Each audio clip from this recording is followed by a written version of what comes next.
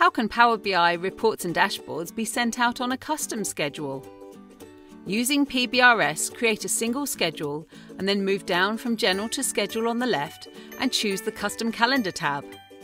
Here we've added a new calendar called Bi-Weekly and selected Alternate Fridays to ensure reports are delivered only on those days. ChristianSteven Software. Bigger data, better business.